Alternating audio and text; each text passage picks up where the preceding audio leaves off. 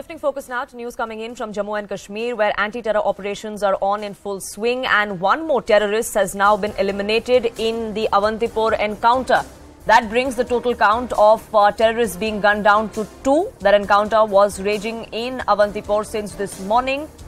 Given to understand that this is the same group, it's the same uh, group of terrorists that was responsible for the killing of Sanjay Sharma, the Kashmiri Pandit, who was eliminated over the weekend. Identified by his religion and killed in Pulwama, the terrorists that were behind that killing have now been gunned down. Massive win for our forces in Jammu and Kashmir. These visuals, of course, coming in from Avantipora, where uh, the encounter was underway since this morning. Ishan Vani, my colleague, uh, getting us the latest from on ground. Yes, Ishan. Uh, well, yes, there was an intense exchange of gunfire that took place here in Avantipora. We are at the spot, and uh, now there has been complete lull.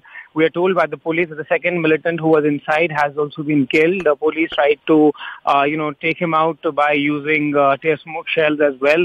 Uh, you know, yesterday it was an operation launched around 6 in the evening and then with the first gunfire at midnight at, at around 2, uh, the, the firefight ensured after coordinated search operation was launched. In the night time, we are told that one of those police said that uh, in killing, in the, involved in the killing of Sanjay, uh, who was a Kashmiri Pandit killed in Pulwama, was also there. He was killed in the in the late night hours and then in the morning his identification was confirmed by ADGP uh, Kashmir Police and then, uh, you know, there was an exchange of gunfire that was going on till now and now the police is in the final searches and operation that is going on. That they're trying to check uh, if there are any more militants who could be hiding, and also trying to ensure that there are no grenades or any traps which are laid to make, cause damage to security forces. Uh, remember, two Indian Army jawans have also sustained injuries. We are told one of them is in a critical condition, and uh, right now uh, the combing operation is underway. Security forces trying to ensure that the operation is done taking maximum precaution so as to avoid any more casualties.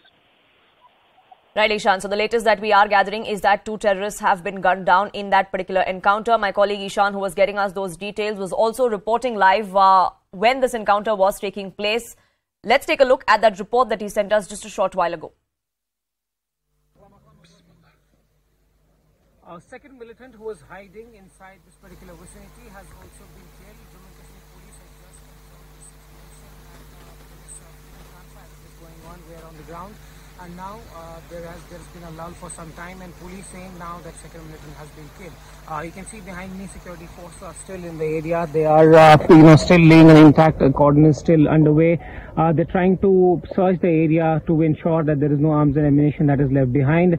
Uh, remember it was in the intervening night that the gunfire broke out here in Pulwama and later on police claimed that one of those militants was Akib who they said was involved in the killing of of uh, uh, Kashmiri Pandit on Sunday. Uh, now a search operation is underway. though police had input about two militants being trapped in the vicinity, now both of them police says has been killed. A search operation is underway. We're expecting that in short while from now, police will brief media and give out information about both of these militants who are now uh, who have now been killed in this operation. Sharmani is reporting for CNN News 18 in Pulwama. Shifting focus now to the national capital, where a day